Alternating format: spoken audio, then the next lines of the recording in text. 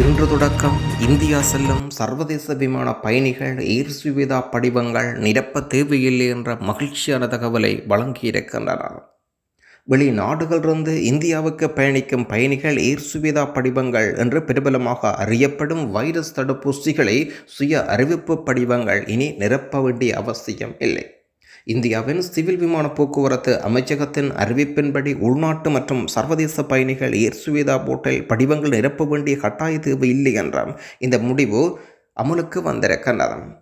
Civil விமான போக்குவரத்து அமைச்சின் அறிவிப்பில் தொடர்ந்து குறைந்து வரும் வைரஸ் தொற்று காரணமாகவும் உலகளாவிய இந்தியாவிலும் வைரஸ் தடுப்பூசி போடுவதில் குறிப்பிடத்தக்க முன்னேற்றம் காணப்பட்டிருப்பதனாலும் இந்த புதிய வழிகாட்டுதல் திருத்தங்கள் மேற்கொள்ளப்பட்டிருக்கின்றது சுகாதார அமைச்சின் திருத்தப்பட்ட வழிகாட்டுதலின் கீழ் ஆன்லைன் ஏர் சுவிதா போர்ட்டல் சுய அறிவிப்பு படித்து சமர்ப்பித்து நிறுத்தப்பட்டிருப்பதாகவும் இருப்பினும் வைரஸ் சூழ்நிலை கருத்தில் கொண்டு தேவைப்பட்டால் விதியை மறுபரிசீலனை செய்யலாம் என்ற அறிவித்தலையும் வழங்கியிருக்கின்றார்கள் தற்சமயம் தேவையில்லை தேவை வரும்போது பயன்படுத்திக் கொள்வோம்.